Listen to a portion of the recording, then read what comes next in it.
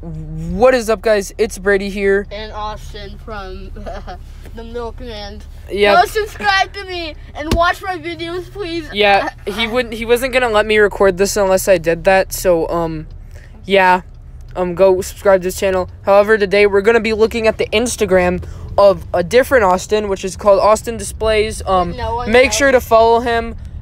Just as I shut up, Austin. He has more followers than you. It might be me. No Um, knows. it might be, it might be, but anyway, today we're going to be looking at um the Spirit Halloween Expo props in stores. That's right, you heard me correctly.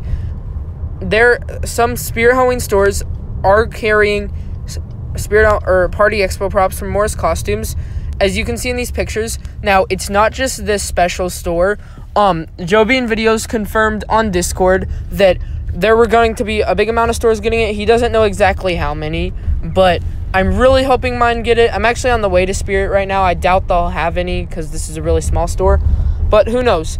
But anyway, yeah, this looks really cool. I really hope mine carry them because I doubt I'll be able to get to get any. So I'd really like to see them on here, especially Underworld Clown. He looks gigantic, and then also I want to see Candy Creep a lot too.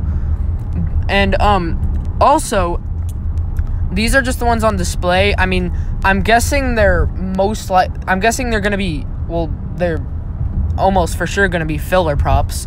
But since so many props are getting bought now at Spirits, these are almost for sure gonna get set up unless like the store doesn't want to risk them breaking or something. I don't really know.